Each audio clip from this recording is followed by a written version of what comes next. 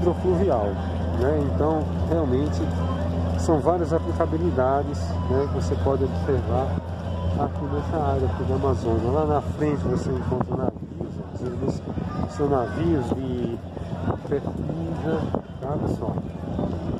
São, utilizam para pesquisa. Visualiza lá na frente. Certo? Tem um navio utilizado para pesquisa.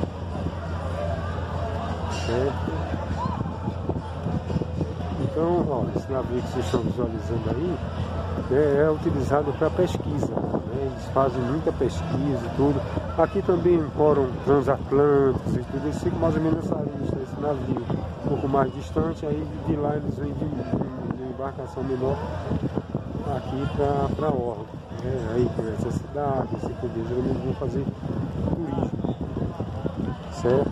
Então, é, o ecoturismo é muito forte aqui, vocês viram, né?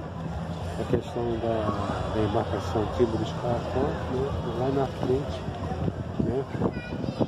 Fazendo a, o turismo é, ecológico fluvial. Tá? E embarcação né? na frente desse médico. Certo? Aí está formando algumas nuvens, mais tarde, daqui a pouco vai chover, mas é normal nessa área aqui as chuvas. Né? Essa época de.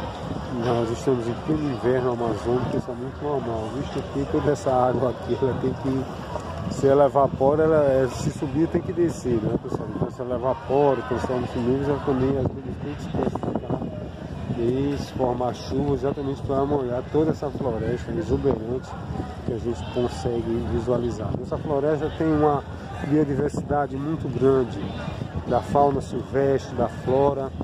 Na fauna silvestre nós encontramos várias espécies silvestres de animais, como a popularmente conhecidos a anta, a paca, o tatu, a capivara, não é? Você encontra o fuboca, é um viado da Amazônia, você encontra a onça da Amazônia, você encontra várias espécies de pássaros, inclusive várias espécies de araras, né? você encontra os tipos de, de, de macacos parecidos com só que é um pouco maior do que o sagui, né? essa área aqui tem uma, uma flora também bastante diversificada, então eles se alimentam bem, geralmente eles ficam maiores.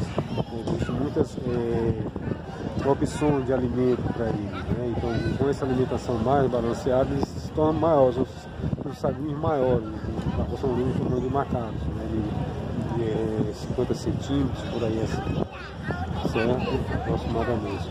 E interessante que você adentrando na floresta, você, a primeira coisa que você encontra são pássaros, né? Você percebe, é o cantar de pássaros. Você não, não visualiza os pássaros, a não ser que você preste muita atenção parado, mas você encontra eles cantando, você escuta eles cantando, né? em, vários, em vários locais da floresta, né?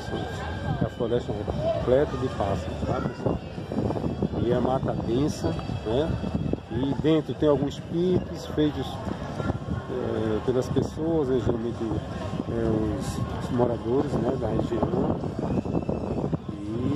Você encontra até um jabuti, alguns piques, como eu já encontrei, né, alguns, tem alguns riachos com água cristalina, tá pessoal? Você pode tomar banho, inclusive beber, porque são águas realmente puras, né, numa mata virgem.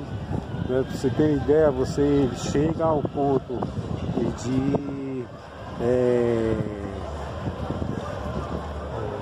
você chega ao ponto de dentro da adentrando na no, no riacho, né? Você chega a um ponto, você na altura a água na altura do tórax, você chega ao ponto de é, olhar para o chão e ver seus pés no chão, você dentro da, do riacho.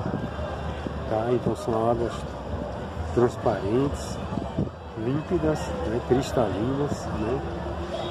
E, inclusive me lembro que uma vez eu pesquei um peixe, o peixe não viu, coloquei um anzol, o peixe não viu, tive que correr mais um pouquinho para frente para acompanhar o, o nado do peixe e jogar um anzol novamente para ele ver. Ele viu e eu pesquei o peixe. Né? Só para você imaginar, tudo isso aconteceu.